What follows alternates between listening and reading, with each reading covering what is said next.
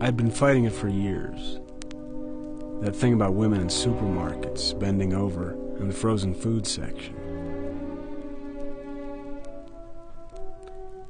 I realized that one of the niceties of civilization is the right to unmolested privacy.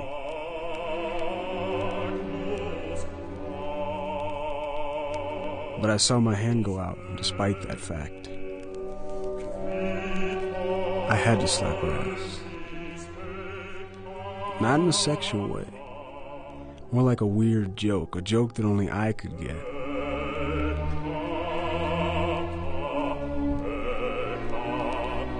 That big man had the most terrible case of body odor.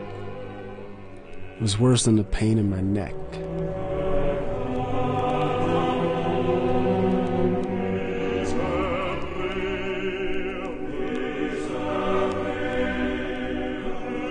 I heard the cuffs click and the wrist start throbbing.